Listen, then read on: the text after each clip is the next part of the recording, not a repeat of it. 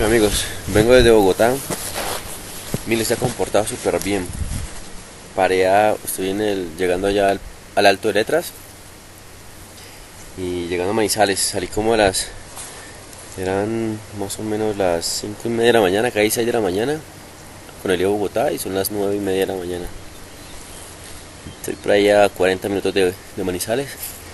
La moto se ha comportado muy bien, súper rico. Mi mamá me empacó A ponerla con leche. Entonces paré a desayunar porque no había parado desde Bogotá. Solamente tanquear una vez y ya. El frío que está haciendo es tremendo. Vamos muy bien, la llanta nueva se comporta excelente. Mi luz está re sucia, pero bueno. Vamos a ver, más adelante me seguiré reportando.